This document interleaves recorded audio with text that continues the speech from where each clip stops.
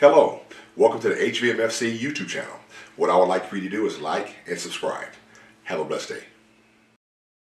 Coming up on the Inspired Word. Whatever you're going through, if you're that person right now under severe hardship, and you're that person right now that's going through severe testing, severe trial, maybe in your life right now, understand the Lord has made a way of escape for you.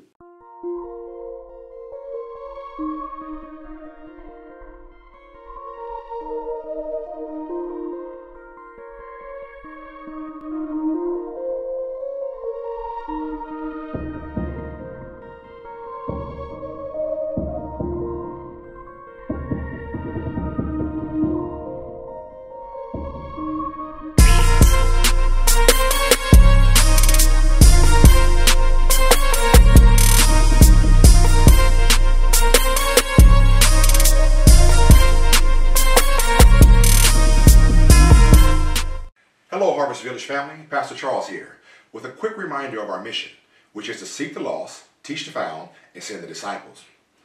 To continue to reach our community and people all around the world, I invite you to join us by financially partnering with us on our mission. To do so, go to www.harvestvillage.org slash give. Thank you. Hello, family. Welcome to Harvest Village Online. I'm Pastor Charles Myles, and I have an awesome message prepared for today.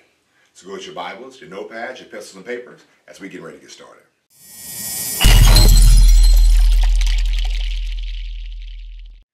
As you open up your Bibles, I want to open it up to 1 Corinthians chapter 10, verse 13. Today's topic is the Lord has made a way of escape. I'm going to start with scripture this morning. The reason I want to start with scripture, I just want to lay a quick foundation, give you a thought process as we go through this, and I'm going to go through a quick story and do some more scripture. We'll have some fun with today, all right? All right now. It says, No temptation is overtaking you, but such is common to man. But God is faithful, and he will not allow you to be tempted above your ability. But with the temptation, he will also provide a way of escape that you may be able to bear.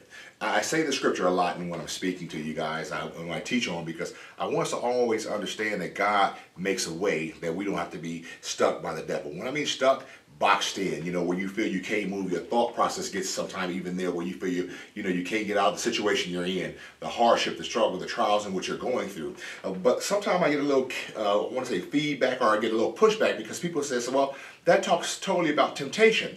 And temptation is, is, is a very specific thing. But I, that's what I realize a lot of people miss. This scripture is not about the temptation, the things that you know that that we like to do, what we should not be doing. It's, it's, it's actually bigger than just temptation. It's speaking about. And for us to understand that, we got to go back to the Greek understanding of what the word temptation means, because the actual Greek text here, with the word is, let me make sure I say it right. It's peirasmos, peirasmos. And the reason this word, I want to bring up this Greek word peirasmos, because if you go back once again to the original text regarding this, that's the word that temptation is used for. And now, to understand the fullness of this right here, because peirasmos means test, trial, temptation, or even severe test. So it does not just mean temptation by itself. The word means more than that. So, you know, what it's basically saying to you is no test okay, has overtaken you, but such is common to man. No trial has overtaken you that's not common to man. You know, no severe test has, has overtaken you that's not common to man. Simply meaning whatever hardship, trial, test or tribulation that you're going through on this earth, I want you to understand, okay, God has made a way of escape.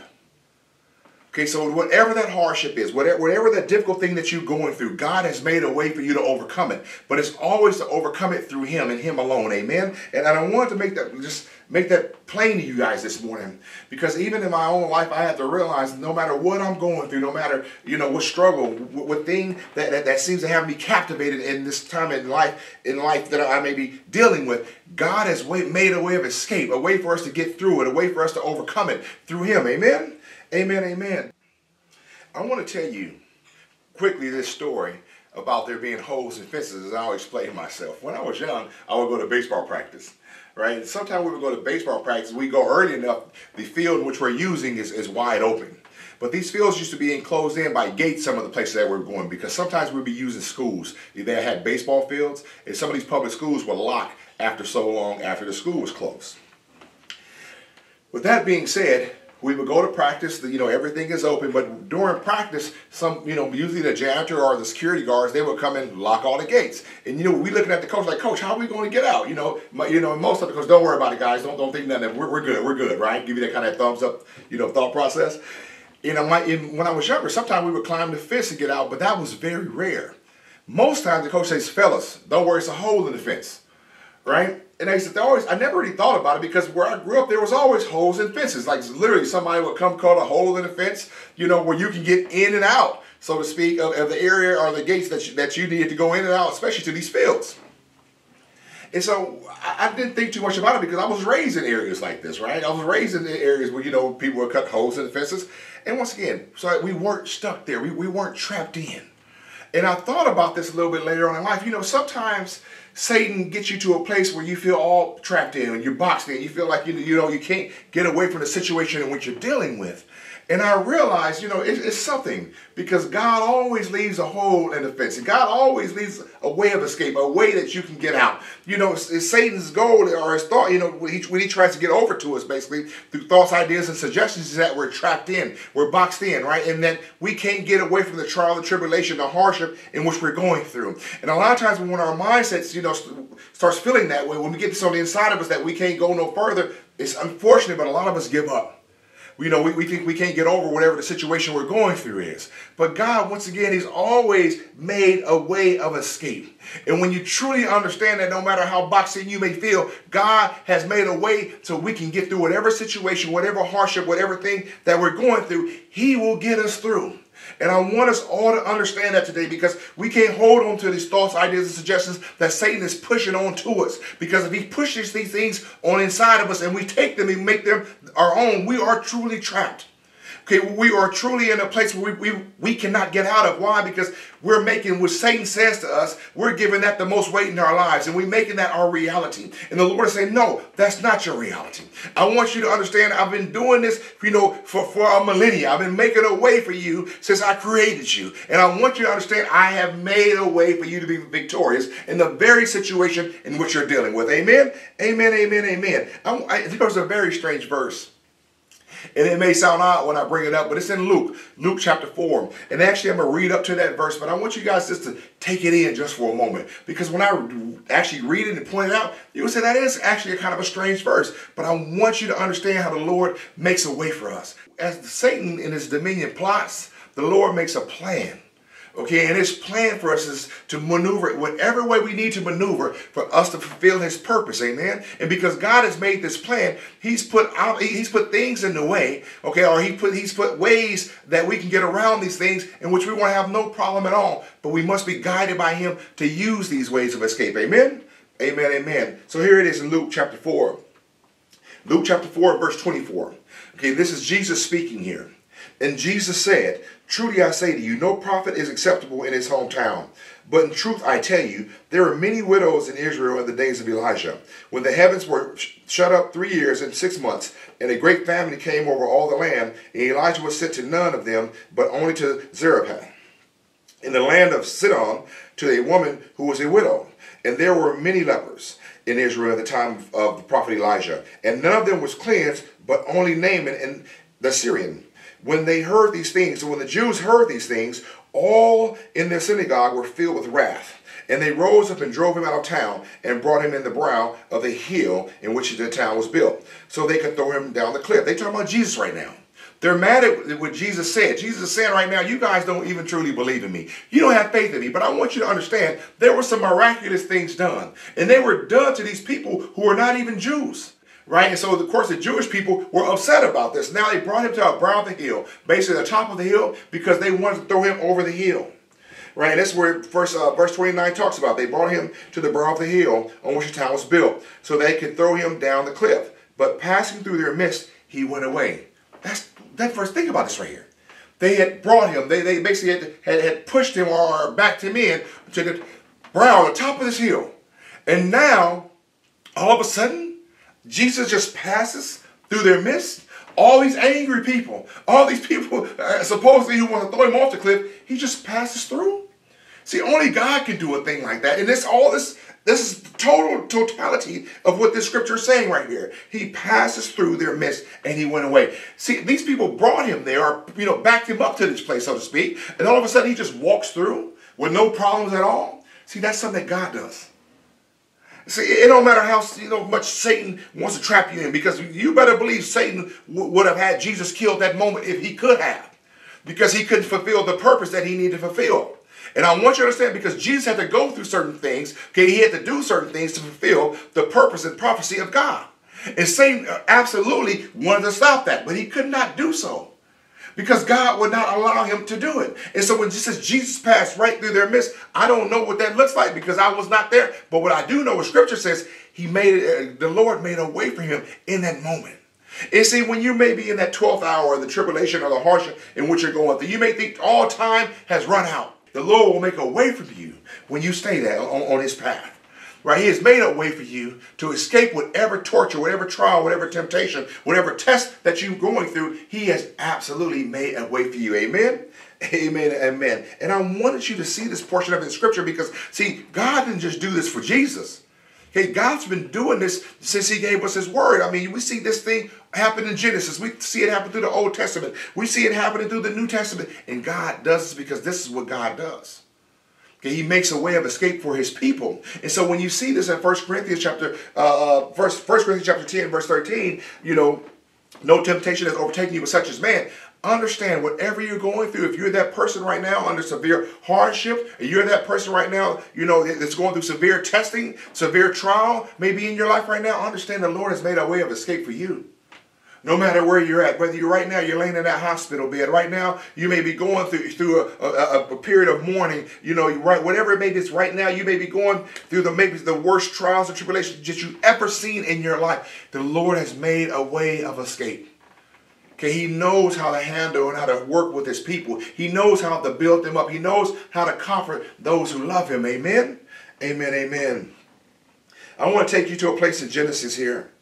And the reason I want to take you to this place in Genesis is because I want you to understand God continues to make a way for his people. He continues to make a way for those that love him. But I just want you to see it. And I like this portion of scripture in Genesis as it talks about Hagar. She's had a child by Abraham, and this is Abraham's first son.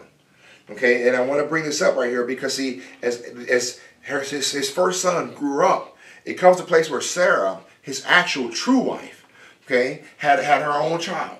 And when she had her own child, she never she didn't want Abraham's son, Ishmael, the son who was born to Hagar, to be around her son, which was Isaac. And I needed to bring this up because see, something's getting ready to happen harsh, okay, that Abraham probably didn't think that was going to ever take place. Sarah gets mad at Ishmael and Hagar, and she tells Abraham to send them away. And this is what it talks about in Genesis. Genesis chapter 21, verse 8. Genesis chapter 21, verse 8. It says, And the child grew and was weaned. This is right here talking about Isaac. So Isaac grew and was weaned. And Abraham made a great feast on the day that Isaac was weaned. But Sarah saw the son of Hagar, the Egyptian whom she had borne to Abraham, laughing. So she said to Abraham, Cast out this slave woman with her son. For the son of the slave woman shall not be heir with my son Isaac. And the thing was very displeasing to Abraham on account of his son. Now, I can only imagine right now the position that Abraham is in right now. Because Abraham's probably in a position which he does not want to be in. Abraham loved his son. Okay, he cared for his son. He's been raising his son. Matter of fact, it, the scripture doesn't even say that you know Ishmael was laughing at something like something bad. It, it, could have been something funny going on that he was laughing at. But when Sarah picked it up, she just didn't like it. She didn't want him around her son. Sarah made it very plain Ishmael should not be the heir with my son Isaac. Simply meaning Sarah didn't want him to have anything, so to speak. Okay, she's saying basically saying in her own thought process that this is the true son, Abraham, and so I don't want you, your, your, your illegitimate son to, to be here with my son. That's what's going on. Okay, here nothing, nothing but family problems in the Bible, folks. I just if you didn't know that, this is, I hate to say it, nothing specific because there's always family issues. Okay, in the Bible, the Bible speaks plainly about these things, and, and it's something because uh, I want us all to understand. You know, Scripture even opens with family issues. You know, we got brother killing brother. You know, in the first family, so to speak. When I say the first family right now, I'm just talking about uh, Adam and Eve and, and their sons, Cain and Abel. And, and I'm only bringing this up because there's one thing Satan has always done, Satan tries to destroy the families. Why does he go after families? Because he's trying to destroy the purpose of God. But moving forward, I just want to give you this thought process right here because here he is, he's working his work, and something's getting ready to happen odd here. And I'm, I'm going to keep reading here. Let's pick up quickly in Genesis 21, verse 12. It says, But God said to Abraham, Be not displeased because of the boy and because of your slave woman. Whatever Sarah says to you, do as she tells you. For through Isaac shall your offspring be named. And I will make a nation of the son of the slave woman also, because he is your offspring. So Abraham rose early in the morning and took bread and skin of water and gave to Hagar, putting it on her shoulder, along with the child, and he, and he sent her away. And she departed and wandered in the wilderness of Beersheba.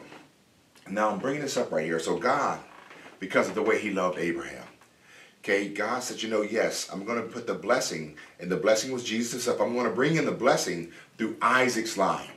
Okay, that's very true. But I also want you to understand, okay, I'm also going to bless your other son. Okay, the, the, the, the son of the slave woman here. And the slave woman was Hagar. He's, I'm going to bless him because he is your son. Now, I want to make sure I touch on this just for a moment. See, Abraham and Sarah actually cooked up a plan, you know, that God was already going to do for him. And the plan they cooked up, they tried to put something in place that God was going to do. God was going to bless Abraham and, Sarah with, with their own son through Sarah. But because it was taking so long, they tried to take it into their own hands. And what they ended up doing was, I'm going to give you my servant Hagar, okay, and you're going to have a child through her. Maybe that's how God's going to do it, even though God never said that. Sometimes when we try to put God's plans in place, or we try to make it happen our own way, most times we just muck it up we do it in such a way where you know where we having all these problems and issues in our life now, which God never planned on you having, but because you went in and tried to do it yourself, here we are. Okay, we're in this difficult spot, and that's exactly where Abraham is in. Okay, that's exactly what him and Sarah are dealing with. Even though it was Sarah's idea. It wasn't even Abraham's idea. Now, once again, I have to have you guys know this right here because now Sarah is mad, okay, that her plan actually worked. But now, you know, the thing that God said he was going to do, because God's word will never come back void, has actually took place. And she has her own kid now. And now she's upset because Abraham has, has another child, okay, in the plan in which she worked, and with her child that God gave her. Okay, and now she's so upset about it, just send her away. This slave lady, you know, the lady, you know, she's basically saying, you know, this thing I put in place, I want it trashed. Okay, I, don't even want it even to exist around her. Her son will never take the place of my son. Matter of fact, her son will never even have part of his inheritance. He, you know, get rid of him. And God is actually, when Abraham prays on this, because Abraham is upset. And I, and I love that he's upset because the truth of the matter is, he's saying, I love my boy. Okay, I know it wasn't the plan, and I know he made some mistakes, you know, but I still love my son. And, and Scripture tells us he was, he was upset when he heard this right here. And so it's this very, like, once again, verse 11, chapter 21, verse 11 says, And this thing was very displeasing to Abraham on the account of his son. So he was hurting. He was hurt that this was said to him. He was hurt that, you know, come on now, Sarah, you've been, you know, my wife, basically the one I love. But, you know, here, this plan that you, you've asked me to do, I went along with it and I have my son, somebody that's next to me, somebody that, I, that I've raised up. And all of a sudden you want me to send him away? That's a hard place for anybody to be in a hard place for any parent to, you know, to have to deal with. But God is God. And the thing I love about God, God already knew that this was going to take place. This may have shocked Abraham, but it didn't shock the Lord. And because the Lord already knew what he was going to do, he said, yes, the blessing will come upon your younger son Isaac. Okay, the way I wanted it to come. But I also understand, okay, for, for your, your, your son, Ishmael, the one you have by the slave woman, I will also bless him. Okay, and he, he'll be the king of many nations. Amen. Amen. Amen. But now I want to pick up here and walk down a little bit further because I want you also to see this. And this is still in Genesis 21, and it's verse 15. And so this is after Hagar and, and Ishmael were sent basically into the wilderness. So verse 15 picks up, says, When the water in the skin was gone, she put the child underneath one of the bushes. Then she went and sat down opposite of him a good way off about the distance of a bow shot, for she said, Let me not look on the death of the child. And as she sat up opposite him, she lifted up her voice and wept. And God heard the voice of the boy. And the angel of, of God called unto Hagar from heaven and said to her, What troubles you, Hagar? Fear not, for God has heard the voice of the boy where he is. He says, Up, Lift up the boy and hold him fast with your hand, for I will make him to a great nation. Then God opened their eyes, and he saw a well of water, and she went and filled up the skin with water and gave it to the boy and drank. And God was with the boy, and he grew up and he lived in the wilderness and became an expert with the bow. He lived in the wilderness praying, and his mother took a wife for him from the land of Egypt. So I, I love this portion. I would not want any of my children, or you know, especially if something happened to me and my wife and my children to be in a situation like this. I couldn't even imagine it. That's how dire to me this this seems. So she's in a place where they're in the wilderness and they're you know, she's they run out of water and they're at a place now, you know, where they, they need sustenance. They, they need that third, thirst quench, so to speak. They need something because if they don't have something naturally, okay, they're going to go through a death here. And, and it's so bad that the mother, she takes her son, Hagar takes Ishmael, and she, she puts him some, you know, a little ways away from her. And it says about a bow shot away because she could not bear uh, the thought process, you know, to see the death of her son. So you know they're in dire straits. I don't know how long they've been out here, but they've been out here for some time, right? And I probably, to me, it had to be for some days. Because you can go probably a couple days without, you know, some sustenance, but once it gets long, you become in that that dire strait. And nobody wants to deal, you know, or, or live in this condition because the truth of the matter is you can't actually live in this condition, right? You can't stay in this condition. And so we know it's so bad that, you know, there must be, or she must think that he's at the point of death. Because to put him in a place away from her, Okay, so I can't look on the death of my child. That means death is near. And I, and I have to get you guys to understand it. These people were not stupid. Okay, she understood exactly in the place and position in which her and her son were in. And so I cannot look upon the death of my child. But God sees exactly where they're at. And, and I love this portion of it because, see, it is something. No matter the strain, the, the, the temptation, the trial, the hardship that you may be going through, God sees you. God sees you. If you remember in Genesis also a little bit earlier in chapter 16, Hagar is also the one who first called God, uh, the God who sees. This is where we actually learn this through Hagar. Hagar called him El Roi, okay, the God who sees. You know, and, and I want you guys to understand this because she was going through hardship when she ran away the first time. When she ran away the first time, you know, she was going through trials and tribulations and struggles, but God told her to go back because God had already made a way and a plan for her. But she also said, You are the God who sees. You are the God who sees me in whatever difficulty, whatever trial, whatever hardship I may be going through. You see me. You have not forsaken me. You have not left me. You, you, you have not, you know, cast me away from you. You see me. And I love this portion of scripture because it lets you know, it lets us all know, right, that whatever I'm going through, my God, my God sees me. My God wants me. My God loves me. And here she is. Okay, with our son going through this hardship, and the Lord automatically makes a way of escape. He, he makes a way for provision to be there. Okay, water, this well showed up, and all of a sudden they, they filling up this water, and they, they're getting the substance, sustenance, the natural sustenance they need on the inside of their body to move forward. I want us all to understand. Okay, God provides. God, you know, he, he provides for us. He sustains us. You know, we have to just trust in who He is because he's the God that not only sees us, he's the God who also provides for us. He's also the God that makes a way of escape because that's exactly what he did for them right there. You know, they're going through this hardship, but here, here it is. This water all of a sudden is there. It, wasn't like it was there before because Hagar would have known that there was a well there. Okay, they, would have saw or heard water being there, but all of a sudden, you know, the Lord does what he has to do to make a way of escape. See, sometimes our way of escape may be something that the Lord provides for us naturally. Sometimes He may provide a way for escape supernaturally. And I want us to understand that. You know, we were in a predicament a little over a year ago where we needed the Lord to do something for us, and it was supernaturally.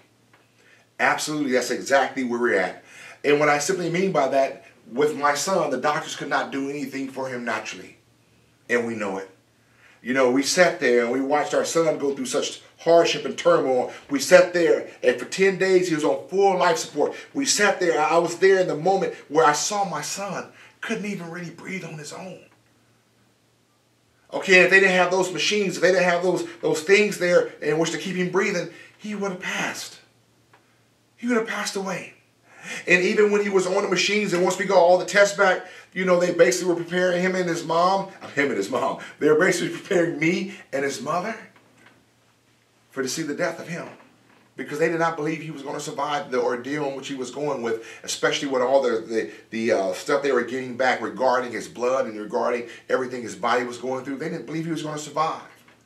And so we needed the supernatural to kick in. We needed the Lord to show up. We needed the Lord to provide a way of escape. We needed him to make a way when there was no natural way for us. But that's something that only God can do. See, when it may seem impossible on the natural side, we know it's possible with God. And so with him also because we know anything's possible with him, we have to put our trust in him.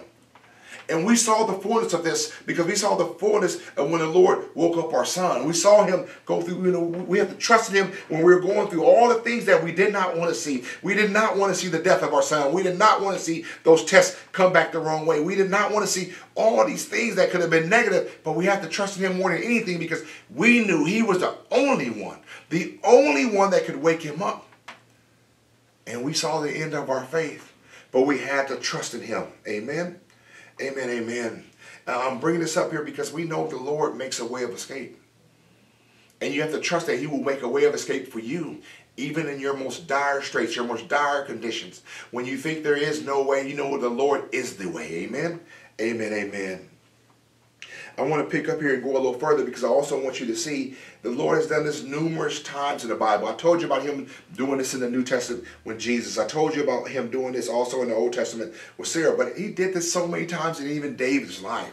David was going into battle after battle when he, you know, all these wars that he had to fight, all these battles that he had to fight, uh, fight, all these conditions in which he was in, where there was always more. Okay, on, on the other side, on the enemy side, but God took David he took them through a way, uh, a process. He took them through, you know, uh, through battles in which they were, they were more than enough people, you know, on the other side to overcome him. But because he had God on his side, they were always winning battles. They were always overcoming. How does David, as a young teenager, overcome a giant, okay, who seems like he was made for war? Only through God. Only through God do you overcome these things like that. You know, we can look at this through Gideon. We can look at this, uh, I mean, in, in, other areas because it seems like God's people, and I'm going to just say it the way it is. It's like God's people always have these adverse conditions where there's always more on the enemy side than it is with them. But they always overcome because of who? God is on their side. And if we could truly take it in that there's more on our side than with them, then we'll get the understanding which we need to move forward. It's like when Elijah and, and, and his servant Gehazi, you know, were, were under getting ready to be under attack by this army that the king sent for them. But Elijah wasn't worried about it at all. And Gehazi is, is, is in terror, you know, in fear right now because, like, you know, we're finna get mollywalked, right? And, and Elijah says, Lord, he prays and he says, open up my servant's eyes. And when the Lord opened up his eyes, he saw the armies of heaven he saw all, uh, you know, all these angels with all these special, you know, battle weapons that they was getting ready to mop the king's army with, right? But he couldn't naturally see it. See, some things we have to, going to have to see spiritually. Some things we're going to have to know spiritually. Why? Because we will not be able to see them with our naked eye. But when you know you belong to the Lord, when you know the, the kingdom of heaven is your home, that means your army is there to protect you. That means your God is there to send out whatever he needs to send out to set you free. And I want you to understand that because some of us, we're so locked up and we're not free. Why? Because we don't truly take in who is protecting us. If you know your God is greater than any God, if you know your God is greater than anything, if you know your God is the creator of the heavens and earth, he has all power over all things. You can be so free right now, this moment, because you know your God is for you. And because your God is for you, He'll protect you. Even Jesus. Jesus' purpose was to go to that cross and do the very thing that he had to do to save us, to make sure that his blood would, would, would cover us. But it's something because even when he was talking to Pontius Pilate, and as he was talking to him, he says, You know, I want you to understand at this moment, basically, I can call down 12 legions of angels, but I must fulfill the purpose of my Father. And what I want you to understand right now, as sons and daughters of the Most High God, we have that same ability. Father, send heaven's, heaven's armies to protect me. Send heaven's armies to make sure I'm okay. And because we we're covered just like that, we know that nothing here has the right to just take us. Nothing here has the right to just overcome us. The only thing that's going to take place in our lives is what the Lord allows to take place in our lives. And when the Lord allows us to go through certain trials and tribulations for a reason, and most time it's just to develop us. It's just to increase our faith. It's, get, it's to get us to a place in which He wants us to go to take the position that we need to take. But we have to go there first to prepare ourselves. Amen. Amen. Amen. We have to stop thinking every hardship, every struggle, every you know, every, every difficult thing we go through is going to be our end. No, it's not going to be my end. It's not going to be my end. I can tell you in my own life, my own life, two times I almost died. Two times. I literally Two times I almost died my own life. But I know my purpose was not over. Uh, you know, I, almost died one time as a young boy. Okay, I, have told this story before. I, I fell off uh, the second story of an apartment complex and I fell on my head to a cement floor from the second story as a young boy. Okay, now nah, the devil couldn't kill me. God wouldn't allow it. The second time I actually was in college. Okay, I had a surgery that went bad and man, I, I've, that surgery almost killed me. There's no other way to say it. It took me, what, three to four surgeries to get back right, but God spared my life. Spared my life. He absolutely did. And, and I look back at that right there. I, I also understand now that my purpose was not yet fulfilled. It was not my time to leave this earth and not that way, amen. And I want us to all understand that. Because the truth of the matter is, if we just get to where we need to get to, you're going to only leave this earth when God says your time is over and not a moment before there. And see, when you fulfilled your purpose, when you've done exactly what God has wanted you to do, okay, if, you, if you're doing that, or if, you, if you've done that already, then it may be time for you to leave. But if you have not done that, and you're truly all for the Lord, just like Jesus did, you're going to pass right through the midst of your enemy. Because your enemy has no power over you when you're with God. I want to pick up here in the 20, 23rd Psalms. And the reason I want to pick up in this 23rd Psalms because I want you to see how David, how David looked back over his life most scholars believe that this song was written in David's latter years. And when David was looking back how God had kept him, how God had, had you know, blessed him and how God kept him alive through all the battles, all the wars, all the difficult things that he had to go through. And I, and I love what it says. It says, the Lord is my shepherd, I shall not want. He makes me lie down in green pastures. He leads me beside still waters. He restores my soul. He leads me in the paths of righteousness for his name's sake. It says, yes, even though I walk through the valley of the shadow of death, I will fear no evil. My God is with me. His rod and staff, they comfort me. Thou preparest a table before me the presence of my enemies. And thou anointest my head with oil as my cup runneth over. Surely goodness and mercy shall follow me all the days of my life, and I will dwell in the house of the Lord forever. Amen. Amen. I, I, the reason I love this is because see, when Dad sees looks back, he looks back how the Lord has guided him, as the Lord has kept him. You know, and he says he leads me the path of righteousness. He he tells me in the way in which I must go to make sure I stay with him. And long as I'm willing to listen, long as I'm willing to do what he asks me to do, I am protected. A lot of us have to get that on the inside of us. As long as we are doing what God is telling us to do, we are protected. Okay, the Lord will make sure we make it out of the hardship in which it comes upon us. Isn't it something though? It's something because, as I was just telling you a moment ago, we always look like we are overwhelmed by the enemy because that's what the enemy does. He, he, he, you know, when you look with your natural eye, yes, you are overwhelmed. Yes, there are more against you than are with you. Yes, there's a giant that you cannot defeat on your own. You know, eh, but it's something. Long as we realize our God is for us. He is the true giant. And as long as we are in him, long as we are existing in him, okay, that we become the same giant that he is. Because you can't overcome, overwhelm my Father, I'm not going to be overwhelmed today because I'm also in Him. Amen? Amen. And we got to get this on the inside of us. And so when He's sitting there, you know, even says, even though I walk through the valley the shadow of death, see, death was real around Him. I want you guys to understand. It's, it's not like, you know, when He says a shadow, like it wasn't real.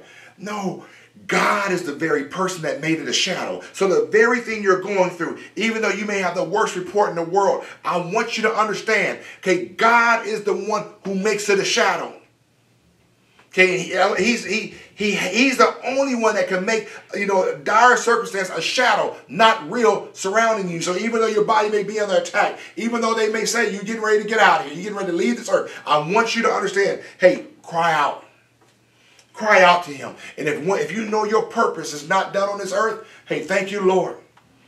Thank you, Lord, for sustaining me. Thank you, Lord, for renewing the purpose that you put on inside of me. Thank you, Lord, for renewing my body, renewing my mind, so that I may understand that I am a giant when I'm in you.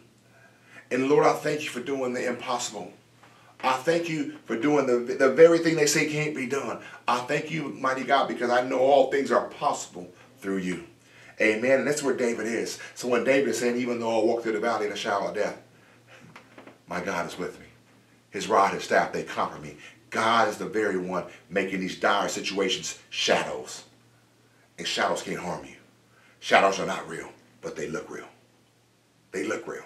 So stop seeing with your natural eyes. Stop taking things in naturally. Sometimes you guys just take things in spiritually. So we walk by faith and not by sight. And that's what comes up. That's what we need to understand. We walk by faith and not by sight. So sometimes you got to close your eyes as you're going through the natural things that you're dealing with. You know what I mean? Close your eyes. Close yourself off to the natural things you're healing. Close yourself off to the natural things you, that you're feeling. Yes, I understand that they're very real.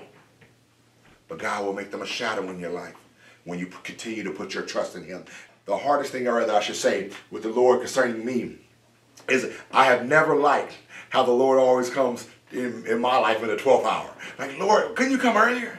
Could, couldn't you do this earlier on, like when I was first praying about it? Did you have to let me go through all this right here to just realize, you know, that yes, I knew you were going to do it, but did I have to go through all that difficulty? And it's something when I truly understand and I look back, I realize that the Lord developed me every step of the way.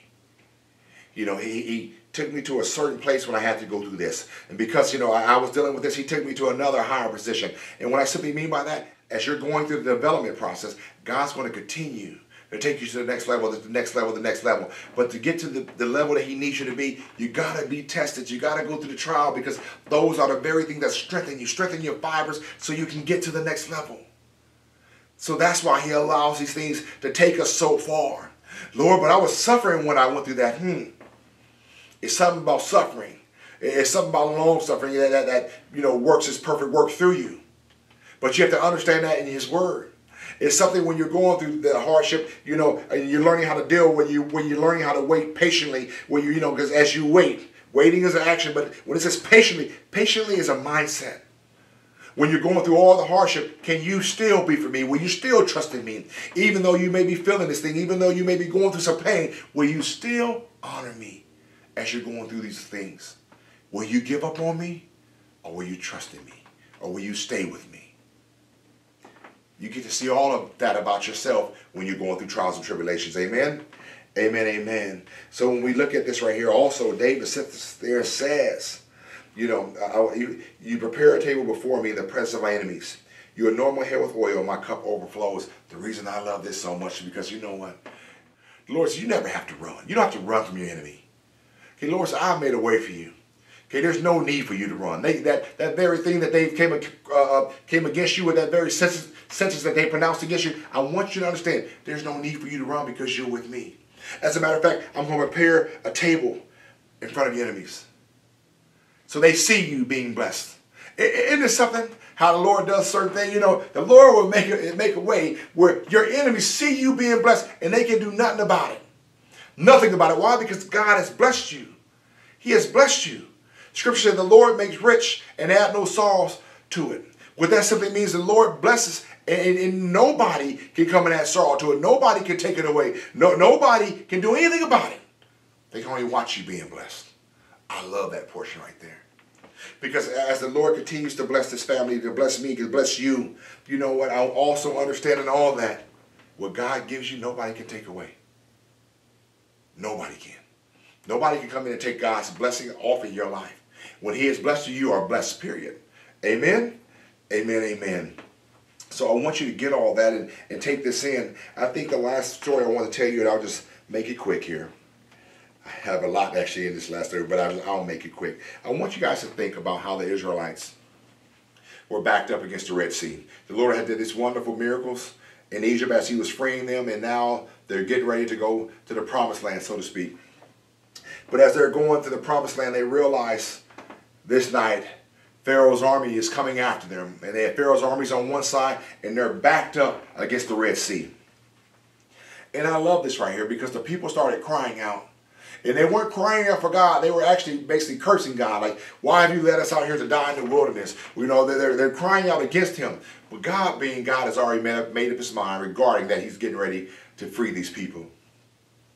And because he does so, look at Exodus, Exodus chapter 14, verse 21, and we're going to be done after this. Exodus 14 picks up, it says, Then Moses stretched out his hand over the sea, and the Lord drove the sea back by a strong east wind all night and made the sea dry land. And the waters were divided. Verse 22 picks up and says, And the people of Israel went to the midst of the sea on dry ground, the waters being a wall to them on their right hand and to their left. Then the Egyptians pursued and went after them into the midst of the sea. All Pharaoh's horses, his chariots, and his horsemen. And in the morning, morning watch, the Lord in the pillar of fire and a cloud looked down on the Egyptian forces and threw the Egyptian forces into a panic, clogging the chariot wheels so they drove heavily. And the Egyptians said, Let us flee from before Israel, for the Lord fights for them against the Egyptians. Then the Lord said to Moses, Stretch out your hand over the sea, so that the waters may come back upon the Egyptians, upon their chariots, and upon their horsemen.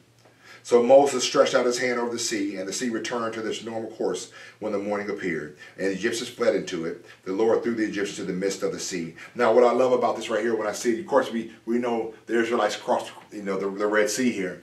But I love how the enemy knew that the Lord is fighting for his people. Because they said it right there in Scripture. and I, and I, I got to bring it back up because let, let me find it real quick again. I got to find this because this is so good. It says, let, let us flee from before Israel, for the Lord fights for them against the Egyptians. So the Egyptians, the, the people in the military, they knew that God was fighting on Israel's behalf. And see, the reason we can sit at the Lord's table and be blessed in front of our enemies because our enemies will know that their God, their Lord is fighting on their behalf. We can't win this thing. We can't win this thing. And one thing I also want you to understand, when Satan and his dominion know they can't win this thing, they flee they go back the other way. Family, I want us to understand the Lord makes a way of escape. You know, come after this if you want to. As the Lord did the Egyptians in the Old Testament, okay, he'll also do for us on our behalf. Our enemies will be conquered by him. So if they're smart, they'll turn back and leave us alone. Because you can't stop us from being blessed. For we are the Lord's people. And we got to remember that in all circumstances. Amen? Amen. Father God, help us to always remember that you provide a way of escape. May we always hold on to that. Even when we can't make up a way of escape, even though we can't see a way of escape, we must always know with you that all things are possible. And if you said there's a way of escape for us who love you, then we know it's a way that we're going to make it out of it. Amen? Amen, amen. Father God, I thank you for this day. I thank you, Father, for your word going through each and every one of us. I thank you, Father, that you, how you continue to just love upon us and keep us. Thank you, mighty God, for healing us, helping us through our trials and tribulations, helping us to be better than which we were than we've ever been. Thank you, Lord, for all good things. Thank you, Father, for blessing our families, providing for our families, seeing us, mighty God, and, all things that we're going through. Thank you, mighty God, for your wisdom and understanding, and help us to understand, Father, that you are always for us. Thank you, mighty God, for comforting us, comforting those who are going through hardships and mourning. Thank you, mighty God, for loving us and make us stronger through you. In Jesus' name we pray. We say amen, amen, amen. Family, that's all I have for you this morning. God bless each and every one of you. You guys all take care. Have a blessed week, and I'll see you later. Bye now. If you are the sound of my voice this morning, and you want to know Jesus Christ for the very first time, Romans 10 9 simply states that if you declare with your mouth that Jesus is Lord and believe in your heart that God has raised him from the dead, that you shall be saved. So if that's you this morning, you want to meet Jesus for the very first time, simply declare with your mouth that Jesus is Lord and believe in your heart that God has raised you from the dead, if that's you this morning, you now belong to the kingdom of God. That's the first step. But there's a powerful second step that you must take. Okay, it's the second step is your transformation to become a disciple of Christ. Okay, for you to transform, you have to pick up the Word of God and start reading it, start taking it in. Get with a good Bible-based church, so people, the people there can help you to become the person that you're supposed to be in Christ Jesus. Amen. Amen. If you can't find nobody in the area in which you're in, you can always find us at harvestvillage.org. Okay, you can email us at admin at harvestvillage.org. And that should be on the bottom of your screen, admin at harvestvillage.org. Amen? Amen. For any reason you may have stepped away from the Lord, okay, you're looking to come back, and 1 John 1 9 simply says the Lord is faithful to forgive all those who ask for forgiveness. So repent, turn away from what you're doing and turn back towards God. Ask for forgiveness. The Lord's ready to put you back in your rightful position. Amen. Also, get with a good Bible based church as they continue to help you to find the Lord okay, and walk in His truthfulness. Well, family, that's all I have for you this week. Thank you for joining me this morning. Okay, thank you for listening to the Word. Thank you for studying the Word. And have a blessed day, family. Bye now.